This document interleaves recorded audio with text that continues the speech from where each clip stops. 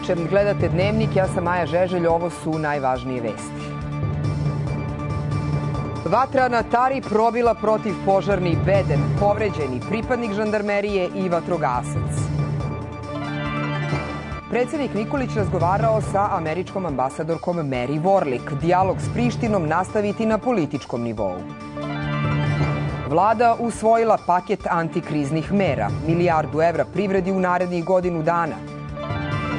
Datum pregovora isključivo zavisi od Srbije, rekao u Briselu evropski komesar File podpredsednici vlade Suzani Grubješić.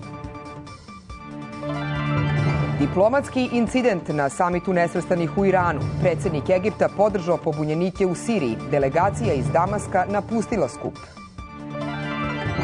Mečevi odluke za porazu, prolaz u Ligu Evrope. Partizan večeras dočekuje Tromse, Bordo, Crvenu zvezdu. Požar na Tari probio je protiv požarni bedem kod brda Oštrelj. Dve osobe su povređene, a gori i u Kremnima i Biosci. Naselje Mokra Gora nije ugroženo, a vatrogasno-spasilačke jedinice uz pojačana dejstva aviona i helikoptera nastoje da zaustave vatru. Požarna oluja je počela ovako. Idite njime! Ne svi, ne svi, ne svi, stani tu vrtu! Ajde! Za samo nekoliko minuta vatra je nošena jakim vetrom probila protiv požarni bedem i zahvatila novi šumski pojas. Tridesetak vatrogasaca i spasilaca su u jednom momentu bili odsečeni i spaseni su u poslednjem trenutku. Sada imamo jedan ogroman problem. Mi sada odmah smo nakon toga počeli druge pojaseve da pravimo, da probamo na taj način da zaustavimo požar kako ne, ne bi napredevo prema ovom velikom kompleksu koji ima i više preko 1000 hektara bora i gde je jako teško to zaustaviti. U selu Oštre ljudi sa zebnjom gledaju brda kojima se požar približava. Kuća sa gori, pa onda znaš šta ja da živim? Što sam to sa trudom, teškim i mukom stvorila. Što bi ja onda je to odustavljala?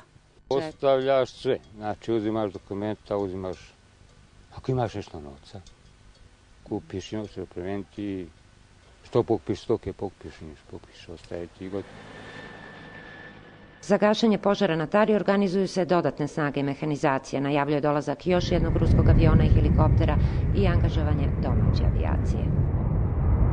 Вы сами видите очень сложные, естественно, условия здесь. Jako je teško, dosta je dima, ali nastojimo da budemo maksimalno efikasni, jer se požar mora što pre zaustaviti.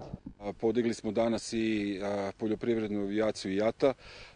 Po njihovim rečima oni će sutra pre podne moći iz Lađevaca da dejstvuju tamo gde bude bilo potrebno.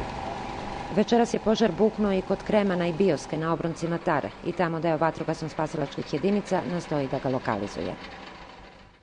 Požari i u ostalim delovima zemlje. Ugašena su tri od četiri požara koje je izazvalo varničenje voza duž pruge Ovčar Banja Kraljevo.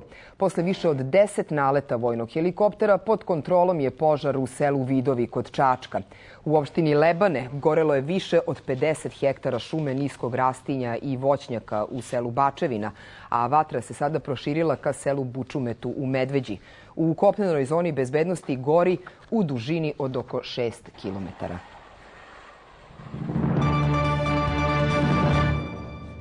Predsednik Srbije Tomislav Nikolić i američka ambasadorka Mary Warlick saglasni su da je potrebno sačuvati stabilnost na Kosovu i Metohiji. Kabinet predsednika Republike saopštava da se razgovaralo i o potrebi skorog nastavka pregovora Beograda i privremenih vlasti u Prištini. Navodeći da vlada Srbije stvara uslove za nastavak pregovora, predsednik Nikolić još jednom je naglasio da pregovore sa tehničkog treba podići na politički nivo, kao i da sve što bude dogovoreno bude precizno definisano kako bi se izbegla višestruka tumačenja. I u razgovoru sa američkom ambasadorkom, predsednik Srbije ponovio je svoju rešenost da se o problemu Južne pokrajine postigne konsenzus relevantnih političkih i društvenih faktora u zemlji. Potpredsednica vlade Suzana Grubješić i evropski komesar za proširenje Štefan File na svom prvom sastanku u Briselu složili su se da nema novih uslova za početak pregovora Srbije o članstvu. Konkretan napredak u normalizaciji odnosa s Kosovom ključan je za pregovore, kaže evropski komesar i najavljuje da će o modalitetima nastavka dijaloga s Prištinom sledeće nedelje u Briselu razgovarati sa srpskim premijerom. Između nove vlade Srbije i Evropske komisije očito nema nesporazuma o tome šta je potrebno učiniti da bi se došlo do početka pregovora, ali je neizvesno u kom roku bi to moglo da se desi. Konkretan stala napredak u normalizaciji sa Kosovom, uključujući primjenu slova i duha sporazuma postignutih u dijalogu sa Prištinom, omogućit će da napravim sledeći korak. Uveren sam da je rukovodstvo Srbije svesno toga i spremno da učini takav napredak u skoroj budućnosti. Najveći prioritet nove vlade je datum za početak pregovora što pre moguće, rekla je Suzana Grubješić, odbijajući da prognozira kada će to biti. Očekujem da učinimo velike korake i u implementaciji svega što je dogovoreno u tehničkom dijalogu sa Prištinom, što je prethodna vlada uradila, da se dovrše pregovori o telekomunikacijama i energiji, kao i da ova naša spremnost da se dijalog e, izdigne na najviši politički nivo dobije svoj format i dobije neku strategiju koju treba da svi sprovodimo i na čemu treba svi zajedno da radimo. U Evropskoj komisiji kažu da su uslovi za početak pregovora sa Srbijom već dobro poznati, ali ono što se u ovom trenutku ne zna je kada će i u kojoj formi biti nastavljen dijalog Beograda i Prištine, a sve do tada neizvestan je i datum za početak pregovora. Ograničeni rad na reformama u periodu posle izbora odrazit će se na godišnji izveštaj komisije u oktobru, rekao je File. On je dodao da neće deliti lekcije, ali da zadržava pravo da kritikuje. Nije tajne da smo i danas razgovarali o nekim elementima novog sporazuma o Narodnoj banci Srbije, koji ograničavaju nezavisnost centralne banke i tako idu protiv usklađivanja sa pravom Evropske unije. Nadam se da će srpske vlasti preduzeti mere u vezi sa tim. Od zemlje kandidata očekujemo da donosi zakone koji je ne udaljavaju od evropskog zakonodavstva, rekao je File. Svakog poslednjeg četvrtka u mesecu, a prvi put od formiranja ove vlade, njeni članovi odgovarali su na poslanička pitanja u Domu Narodne skupštine. Tamo je Ivana Čkonjević. Ivana, šta je sve zanimalo poslanike? E, Majo, novi saziv e, nastavio sa starom praksom e, da ministri jednom mesečno dolaze ovde u Skupštinu Srbije i odgovaraju na poslanička pitanja. I evo mesec dana od formiranja srpske vlade, gotovo ceo kabinet iz Nemanjine 11 došao je pred, poslanike. I kako smo i očekivali, najviše pitanja bilo je za premijera Ivicu Dačića, vicepremijera Aleksandra Vučića i ministra financija i privrede Mlađana Dinkića. Teme aktuelne, e, kako će Kosovo e, biti predstavljeno na regionalnim skupovima, e, borba protiv kriminala i korupcije, sporna pitanja i kako je sve to izgledalo, predložem da pogledamo u prilogu koleginice Aleksandre Milivojević. Tri sata prvog propitivanja ministara u parlamentu nisu obeležile žustre rasprave, već stara pitanja o ekonomskim problemima, privatizaciji, Kosovu i Metohiji. Jer nacionalno odgovorno reći da ćemo se izjasniti o najkrupnijem problemu ove zemlje, kad otkrijemo šta je prethodna vlada odlučila po tom pitanju, a većina vlade u kojoj ste vi predsednik je bila u sastavu prethodne vlade. Mislim na dogovore koji su postignuti u, u Briselu i koji u ovom trenutku direktno utiču na evropsku budućnost zemlje. Izaslanik Evropskog parlamenta za Srbiju Jelko Kasin rekao je da je postignut dogovor oko regionalnog predstavljanja Kosova. E, da li je to tačno? Što je gospodin Kacin izjavio. I drugo, ako je tačno, kakav je sadržaj tog postignutog dogovora? Mi nismo promenili, niti postigli neke nove dogovore. Niti su ti dogovori pravljeni sa Kacinom. E, nema nikakve promene u odnosu na ono što je dogovoreno u Briselu pre nekoliko meseci. Ukoliko Kosovo nije asimetrično predstavljeno, da prevedem na srpski jezik, ukoliko nije različito predstavljeno od međunarodno priznatih država, e, Srbija neće u tome učestvovati. Naša principena politika tim povodom ostaje ista. Poslanike Demokratske stranke zanimalo je kakva je strategija vlade i Ministarstva financija da se poboljša rejting Srbije i koliki će biti manjak u budžetu. Da li ćete postignuti sporazum sa MMF-om, pošto i dalje čujemo uh, razne intonacije iz vlade uh, oko potrebe postizanja tog dogovora? I ako je odgovor da, kada će taj ugovor i sporazum biti uspostavljen? Ja sam kao uh, ministar zadužen za javne financije u vlade Republike Srbije poslao i pismo izvršnom direktoru MMF-a i mi očekujemo dolazak njihove takozvane fact-finding misije, odnosno misije koja će proceniti sadašnje stanje za period od 10. do 14. septembra i očekujemo misiju za pregovore oko novog aranžmana, jer ovaj stari koji je prethodna vlada sklopila će biti poništen, jer je sad potpuno nerealan. Dakle, razgovarat će se o potpuno novom aranžmanu. Odgovarajući na poslaničko pitanje, prvi potpredsednik vlade podsjetio je da je naša zemlja u spornim privatizacijama izgubila milijarde evra.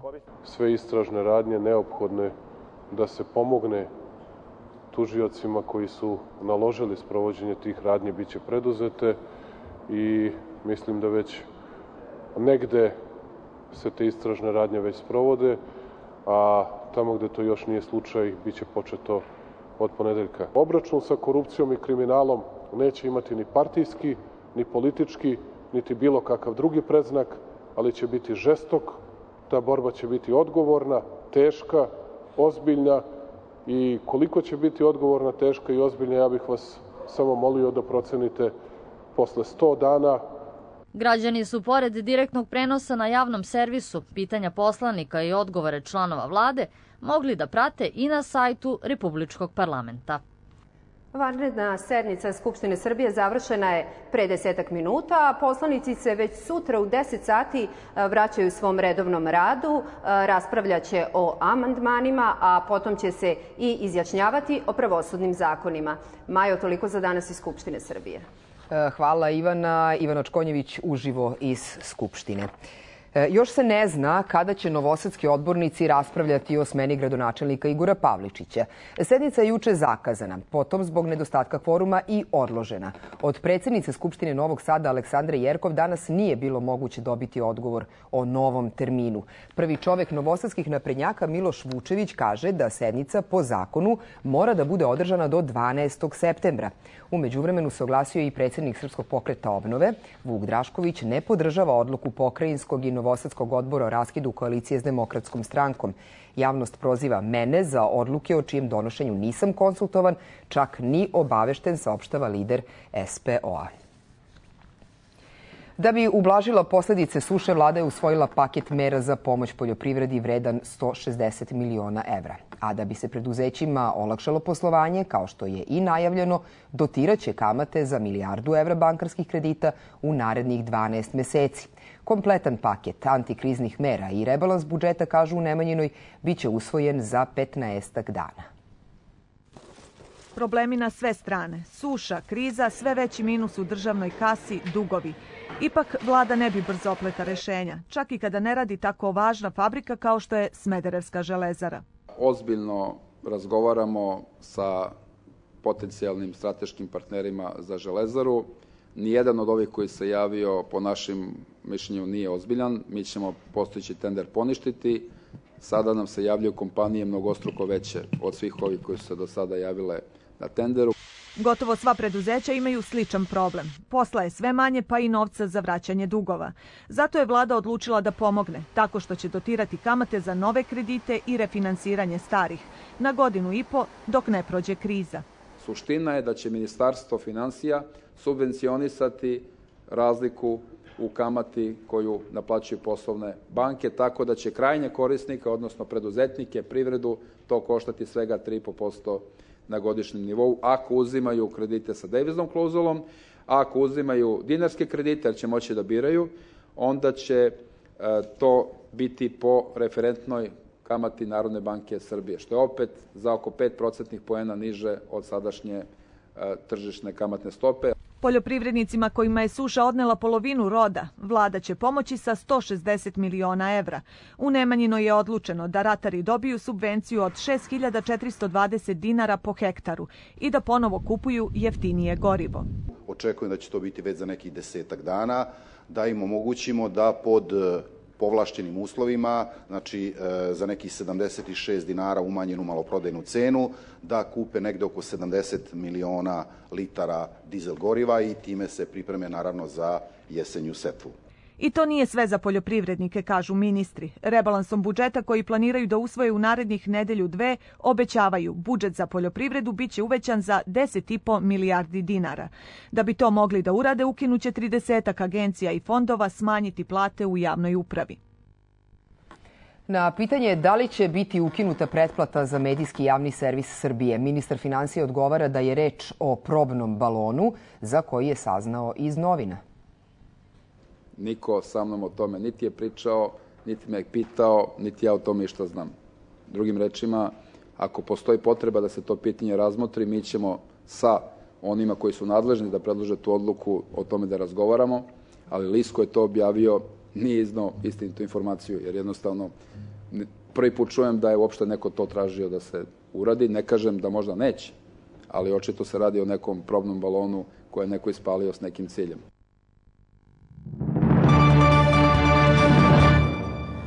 Dužnička kriza u eurozoni zabrinjava Kinu, ali je Peking spreman da i dalje ulaže u evropske obveznice, izjavio je kineski premijer u razgovoru sa nemačkom kancelarkom.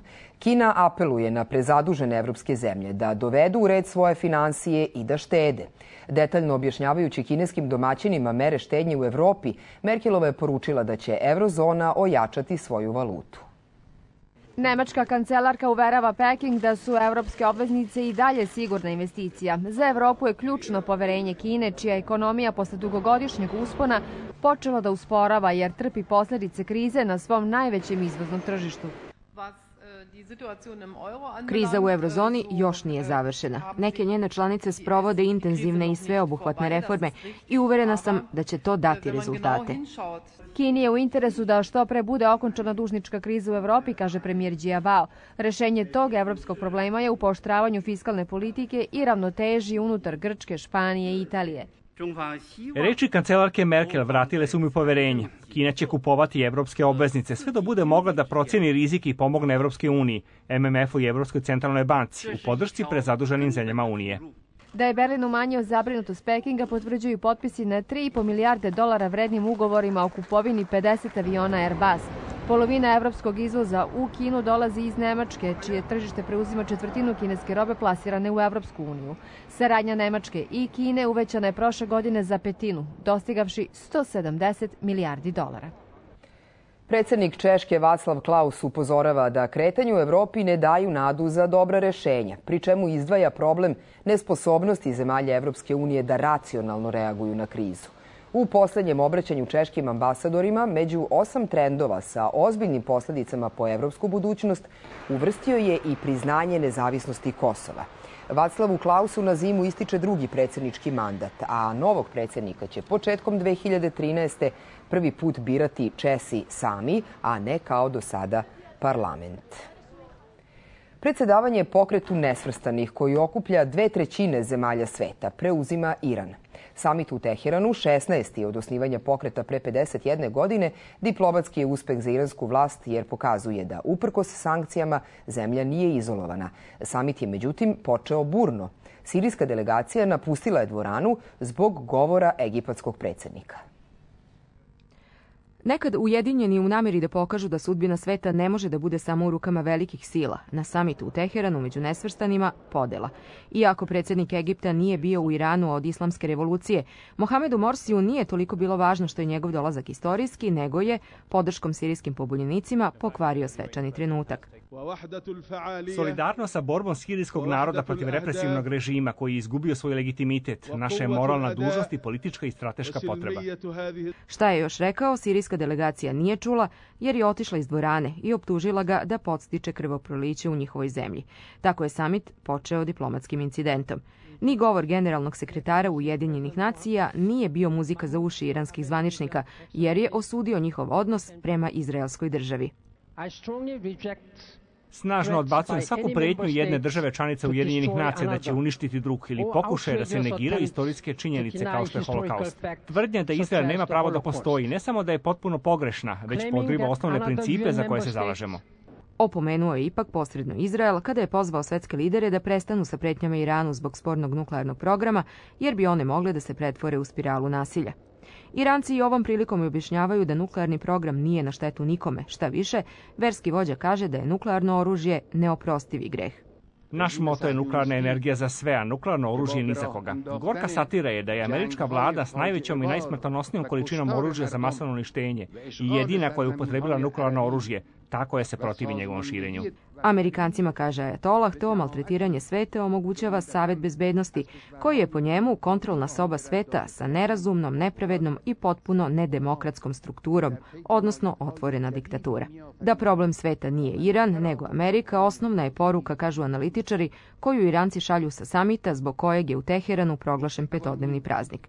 Srbiju, koja u pokretu nesvrstanih ima status posmatrača, predstavlja šef diplomatije Ivan Mrkić.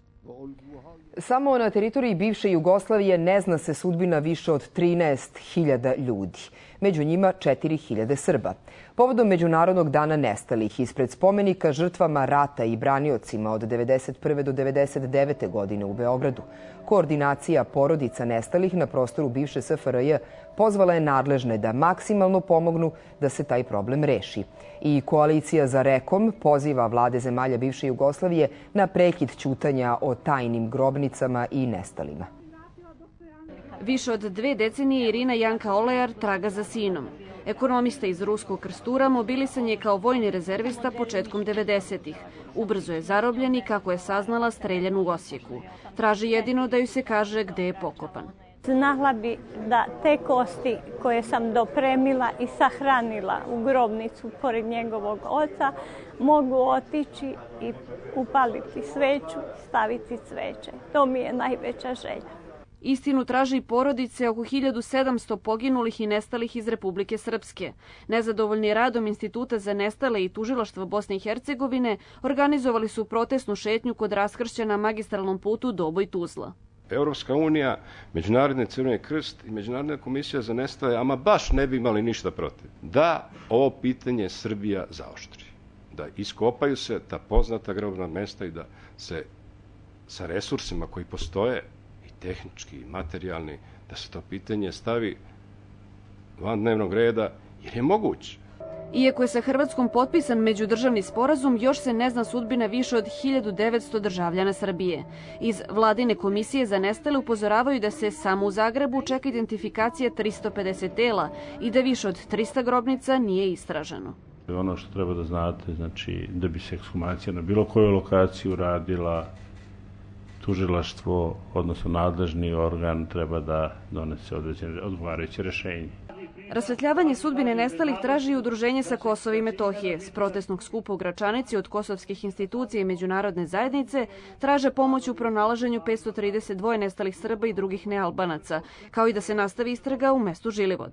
Zašto je e, šef koji je radio ekshumacije iz Euleksa jedan dan pre nego što je saopštena vest da, je, e, da tu nema ostataka pobegao sa Kosova na godišnji odmor? Zašto on nije ostao koji je nas četiri godine lago? Na dan nestalih novinarsko udruženje u znak sećanja na kolege ubijene i nestale 1998. i 99. godine postavila su spomen ploču u pokrajini, na putu između Velikih oča i manastira Zočišta gde su poslednji put viđeni Đuro Slavoj i Ranko Perenić. Skupština Srbije razmatra predlog dopuna zakona o vanparničkom postupku. Ukoliko bude usvojen, pravno nevidljivi mogli bi lakše da se upišu u matične knjige rođenih i tako dobiju lična dokumenta. Pravno nevidljiva lica su svi oni koji nisu upisani u matične knjige rođenih. Tako pravno ne postoje jer nemaju lična dokumenta, pravo na zdravstvenu i socijalnu zaštitu, obrazovanje, politički izbor, niti na zaposlenje. Od stvarjovine živimo tako sva i moja porodica i cela moja familija i tako živimo od toga. Od gvožđa, od papira, od svega. Nemamo ni papire, nemamo dokumenta nikakvih. Bez dokumenta je najviše Roma koji žive u divljim naseljima. Zbog života na marginama društva i socijalne isključenosti, ovi ljudi već generacijama nemaju ni osnovne podatke o rođenju. Ono što oni ne mogu jeste da dokažu činjenicu svog rođenja i da ispune zahteve koje pred njih stavlja zakon o matičnim knjigama u pogledu vrste i količine dokaza koji su neophodni. Nevladine organizacije ukazuju da je rešenje u promeni zakona. To je jednostavno i rešenje za našu, da kažemo, siromašnu državu u tranziciji, da jednostavno treba da se bave direktno tim problemima, da od socijalno ugroženih kategorija stanovništva napravi ovaj, porezke obveznike, obveznike države Srbije i to je jedino pravo rešenje za našu državu. U Srbiji će prvi put, ukoliko budu usvojene izmene zakona o vanparničnom postupku, sud utvrđivati i činjenicu da neko postoji. svaki dan e, bez tog zakona je nastavak agonije za veliki broj ljudi koji ne mogu da se zaposle, ne mogu da se venčaju, ne mogu da dobiju pasoš, ne mogu da glasaju. Dakle, što pre to bolje. Prema poslednjem izveštaju UNHCR-a u Srbiji ima između 6 i 7 hiljada neupisanih u matične knjige rođenih. Verujemo da ako svi budemo radili zajedno, otišli romska naselja, bavili se pitanjem dokumenata, Srbija bi mogla da reši taj problem u roku od dve godine. Tako bi postala prva balkanska država koja bi rešila taj problem sa dokumentima. Za sudski postupak utvrđivanja identiteta neće se plaćati taksa. Sud će sve dokaze i izjave svedoka proveravati na terenu u saradnji sa Ministarstvom unutrašnjih poslova da ne bi bilo zloupotreba. Predstavnici srpske i ruske vlade sastaju se u utorak u Beogradu kako bi pripremili sporazum o dugoročnim isporukama gasa našoj zemlji. Taj dokument koji je ukazom odobrio predsednik Medvedev, Srbiji garantuje redovne isporuke i dovoljno gasa u narednoj deceniji. Da li to znači da će on biti i jeftiniji?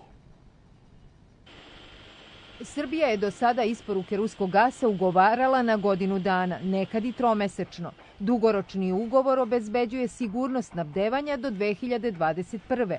a o ceni će se tek pregovarati.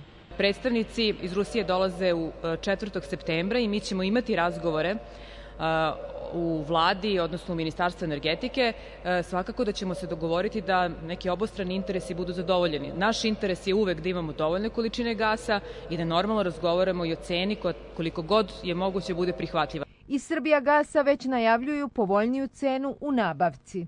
Mi u momentu očekujemo da cena gasa, ali ne kao posledica ovog sporazuma, nego kao posledica kretanja cena nafte na svetskom tržištu padne se nekih 480 dolara koliko je sada na oko 420 dolara. To se, nažalost, u ovom momentu neće odraziti na cenu gasa na srpskom tržištu, jer ona negde oko 30% ispod uh, realne cene. Srbija godišnje troši oko 2 milijarde kubika gasa, sporazum omogućava 5 milijardi. Stručnjaci ocenjuju da je povećanje količina veoma značajno za zemlju, ali podsjećaju i da postoje tehnička ograničenja za povlačenje tako velikih količina. Svakako da 5 milijardi kubika ne možemo da proteramo kroz trenutno ovaj naš gasovodni sistem Horgoš-Niš, ali svakako izgradnjom južnog toka to će biti moguće. Međutim, to ne sprečava gradnju gasnih centrala za proizvodnju struje. Već od zime, punjenjem skladišta u Banatskom dvoru, zemlja će konačno moći da se osigura za slučaj gasne krize. Zaposlenima u zdravstvu plata će za po 2% biti povećana u oktobru i aprilu. Dogovorili su se predstavnici vlade i reprezentativnih sindikata. Svi zaposleni u zdravstvu primit će i po 4000 dinara za novu godinu. Kako se najavljuje, trajno će biti rešen status preko 13.000 onih koji rade po ugovoru. Dogovorom uglavnom svi zadovoljni. Smanjenja plata neće biti, ali će se uvođenjem kapitacije, to jest novim sistemom nagrađivanja, odvojiti rad od nerada. To nije velika suma, neki će primiti 4% više, niko neće primiti u, među zdravstvenim radnicima manje od postojeće plate, ali to je početak uvođenja i razlika među nama koji smo u toj delatnosti. Lično sam zadovoljan razumevanje ministara da se primjenom kapitacione formule ne smanjuju osnovne zarade zaposlenih u delatnosti zdravstva, što je i bio zahtev ovog sindikata, zbog koga smo organizovali proteste i štrajk. Nisam zadovoljan ponudom za povećanje od 2%, jer mislim da je relativno mala, s obzirom da su zarade realno opale za 30%. Od 1. januara najavljuje se trajno rešenje statusa 13.700 radnika koji rade po ugovoru da pokušamo da te ljude dovedemo u taj jedan ravnopravan nivo sa svim ostalim zaposlenima. Danas smo pričali na koji način da iznađemo ta sredstva. Ako to budemo uspeli, to će zaista biti jedan ogroman pomak. Sindikat Nezavisnost traži da zbog specifičnosti posla zaposleni u psihijatrijskim ustanovama i urgentnom centru dobijaju dodatak. U vladi im je, kažu, obećano da će taj problem uskoro biti rešen. Revidirana lista lekova na kojoj je i oko 50 novih važiće od subote. Zbog cena koje se obračunavaju po kursu od 99,29 dinara za evro, propisanom pre 15 meseci, ali i zbog pojeftinjenja nekih lekova negoduju vele trgovci i proizvođači. Oni poručuju da je cenovnik neodrživ i da će izazvati velike nestašice. Direktorka sektora za lekove u Fondu za zdravstveno osiguranje Vesna Živković izjavila je u našem jutarnjem dnevniku da nestašice neće biti i da građani ne treba da prave zalihe. Bugarski carinici zaplenili su na graničnom prelazu s Turskom 33 kg heroina. Droga je nađena u minibusu sa srpskim registarskim tablicama, a vozilo je saobraćalo od Turske do Srbije. Heroin sakriven u rezervoaru u 60 paketića bio je namenjen srpskom tržištu. Vrednost zaplenjenog heroina je oko 2 miliona evra. Srpski vozač rekao je tokom ispitivanja da je trebalo da dobije 10.000 evra za šverc, a novac mu je, kaže, bio potreban za medicinsku intervenciju. Bugarske vlasti pokrenule su istragu. Selo Jezero u podnožiju Ozrena ponosi se netaknutom prirodom. Međutim, nema redovnu autobusku liniju do najbliže Soko banje, kao ni signal za mobilnu telefoniju i internet. Selo bi, kažu meštani, propalo da poslednjih decenija u njega nisu dolazile vranjanke. Jezero danas ponovo traži pomoć jer ima mnogo neženja. Skoro svi u selu imaju neke veze s Vranjankama. Poslednja koja je prevalila više od 200 km udaljenosti i iz Vranja stigla u jezero je Sonja Nikolić, majka dve čerke. Tamo smo se sreli, dopisivali čuli, bio još dva, tri puta. Onda sam ja došla da vidim i ostalo. Uopšte je poznato da su Vranjanke najlepše u Srbiji, malte ne. Sve je bilo spontano, kaže Olgica Pavlović, prva Vranjanka koja je u jezero došla pre 30 godina, a za njom i druge. Prvo došla po mene, sestra moja bila kod mene na strižbu, na sina i tako ostala i ona. Posle jedna po jedna. Kako su sela u Srbiji sve više propadala, meštani jezera postojali su svesni da su im selo spasile upravo Vranjanke. Ideja da se u selu podigne česma njima u čast, nažalost, je propala ali još uvek je moja ideja, kažem da to taj plan nije propao i da još uvek postoji mogućnost da mi to njima se odužimo na takav način. Od 260 stanovnika trećina je mladih i to uglavnom neoženjenih muškaraca. I dok oni ne bi o tome, Nemojte mene, molim vas, nađite nekog drugog, molim Stariji su iskreno zabrinuti. Najviše im potrebno te devojke koje im nema, ako bi moglo negde da se uvezu da bi ostalo selo živo. To su kršni momci, lepi momci, a, moćni i stasali za ženitbu. Znači, devojke može da se, da se, da se prijave, da se udaju tu kod nas. Iako su meštani jezera zahvalni Vranjankama, ovaj poziv važi za sve devojke u Srbiji. Večera se na letnjoj pozornici u Niškoj tvrđavi zatvara 47. festival glumačkih ostvarenja Filmski susreti. Tada će biti i saopšteno ko su dobitnici Grand Prix festivala na Ise, kao i nagrada Car Konstantin i Carica Teodora. Zbog tehničkih problema na početku festivala, posle svečanog zatvaranja, biće prikazan film Doktor Rej i đavoli Dinka Tucakovića. Snimak zatvaranja filmskih susreta u Nišu emitujemo na drugom programu.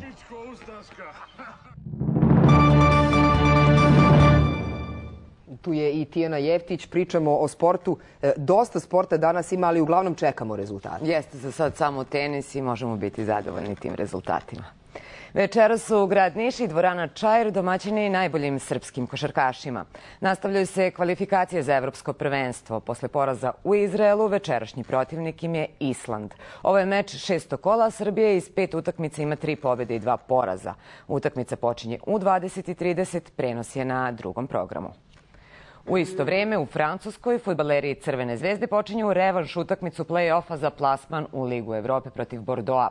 Posle Beogradskih 0-0 na Marakani, jedan postignut gol i sačuvana mreža crveno-belih po mnogima bi značili zvezdin ostanak u Evropi ove jeseni. Mislim da trebamo da se potrudimo da odigramo kao što smo odigrali kod nas, hrabro, e, da, da pokažemo tu borbenost, što, što je najbitnije da, da budemo skoncentrisani i, tak, i taktički da dobro stojimo, da bi uspeli da, da, da ne primimo go i ja se nadam da ćemo uspeti da damo taj go. Što, ako se to desi, ja mislim da, da, da ćemo proći dalje. Futbaleri Partizana od 20 i 45 na svom stadionu igraju jednako važnu utakmicu. Njihov protivnik je Norveš, norveški Tromsen. Rezultat iz prvog meča, poraz od 3-2, ostavlja prostor za razmišljanje o nastavku evropske priče. U Humsko je Milan Vuković. Milane, da li isto tako razmišljaju svi u ovom trenutku na stadionu? Tijana, bez obzira na taj rezultat iz prvog meča u kojem je Partizan poražen, apsolutno svi na Partizanovom stadionu očekuju da crno-beli prođu dalje ili će se u suprotnom bar za navijače Partizana dogoditi katastrofa. Jer zaista niko ne želi šamrok, niko ne želi još jednu neprijatnu stranicu u istoriji Partizana. U svakom slučaju, trener Vermezović, što se tiče sastava večeras, nije imao dilemu. Partizan će igrati u formaciji 4-5-1 i to znači da će na poziciji štopera biti Ostojić i Ivanov, golman je naravno Stojković, levo Volkov, a desno je Miljković, što je možda iznenađenje. U srednjem redu igraće Saša Marković i Medo Kamara. Nešto istureniji su Nemanja Tomić, Lazar Marković i Saša Ilić, dok će u napadu igrati e, mladi Aleksandar Mitrović, dečko od 17 godina. Naravno, mi ćemo više o utakmici govoriti po završetku dnevnika, tada počinje specijalna emisija. Meč je od 20 sati i 45 minuta i to sve u prenosu, prenosu na našem prvom i test HD programu. Tijana? Hvala za ovo uključenje, pratit ćemo večeras futbal. A četvrti je dan otvorenog prvenstva Amerike. Za srpske tenisere počeo u 17 sati kada su sve naše predstavnice u singlu izašle na teren. U mečevima drugog kola Ana Ivanović je prva završila posao protiv šveđanke Sofije Arvidsson. Za 65 minuta bilo je 6-2, 6-2. Jelena Janković protiv Španjolke Vekino slavila je sa 6-4, 6-2 i njih ćemo gledati u trećem kolu ovog turnira. Bojana Jovanovski nije iskoristila šanse protiv Cibulkove i izgubila je 7-6, 7-6. Sutra će na teren Đoković i Tipsarević u drugoj rundi posljednjeg Grand Slema u godini. Dve nedelje pošto su završene 30. olimpijske, u Londonu su počele 14. paraolimpijske igre. Svečanim otvaranjem pred 80.000 ljudi kraljica je sinoć označila početak igara. Olimpijski plamen na stadionu upalila je 84-godišnja Margaret Mon, koja je osvojila prvu medalju za Britaniju na paraolimpijskim igrama. Rečenica iz Šekspirovog dela Oluje Najveća avantura je ono što nas čeka. Poruka je koja uključuje borbu 4200 sportista iz 165 zemalja tokom 11 dana. Srbiju predstavlja 13 sportista, a neki su već počeli nadmetanja. Živko Papaz, reprezentativac u streljaštvu, zauzeo je šesto mesto u gađanju vazdušnim pištoljem. Stonoteniser Zlatko Kessler pobedio je Dolmana iz Australije sa 3-1 i igraće protiv Knafa iz Brazila. Stonoteniserka Borislava Perić-Ranković savladala je Fehmet Az Alamaz iz Jordana sa 3-0 i sutra igra protiv Yi Nam iz Koreje. Naravno, o večerašnjem žebu za Ligu šampiona i zvanično najboljim igraču Evrope čitajte na sajtu RTS-a, toliko sportu u ovom dnevniku. Tropska oluja Isaac kreće se ka južnom Arkazasu i Misuriju. Udari vetra dostižu 95 km na čas. Visok nivo vode na severnoj obali pravi najviše problema stanovništvu. U New Orleansu uveden je policijski čas. Posle jakih udara vetra i obilne kiše, oko 600.000 domova ostalo je bez struje. Centar oluje nastavlja ka južnom Arkazasu, koji će pogoditi noćas ili sutra ujutru. Madrid su pogodili najveći požari u poslednjih 30 godina. Gori površina od oko 2000 hektara šume i niskog rastinja. Vatrogasci su celu noć proveli na terenu, ali su požari i dalje van kontrole. Naš region i sutra će biti pod uticajem anticiklona, pa se u Srbiji očekuje vedro vreme. Oblaci i kiša ostaju zapadno od nas. Sutra još toplije, a za vikend u većem delu Srbije malo svežije. U petak u Srbiji pretežno sunčano i toplo, vetar slabi i umeren, južni i jugoistočni, u Vojvodini i povremeno jak. Jutarnja temperatura od 11 do 21 stepen, najviša dnevna u intervalu od 30 do 35 stepeni. Leto još travi, i kalendarski i meteorološki. U glavnom gradu sutra sunčano, najviša dnevna temperatura 34 stepena. Još jednom najvažnije vesti. Vatra na Tari probila protiv požarni bedem. Povređeni pripadnik žandarmerije i vatrogasac. Predsednik Nikolić razgovarao sa američkom ambasadorkom Mary Warlick. Dijalog s Prištinom nastaviti na političkom nivou. Vlada usvojila paket antikriznih mera, milijardu evra privredi u narednih godinu dana. Datum pregovora isključivo zavisi od Srbije, rekao u Briselu evropski komesar File potpredsednici vlade Suzani Grubješić. Diplomatski incident na samitu nesvrstanih u Iranu. Predsednik Egipta podržao pobunjenike u Siriji. Delegacija iz Damaska napustila skup. Mečevi odluke za prolaz u Ligu Evrope. Partizan večeras dočekuje Tromse, Bordo Crvenu zvezdu. Gledali ste Dnevnik, ostanite uz Radio Televiziju Srbije. Prijetno večer.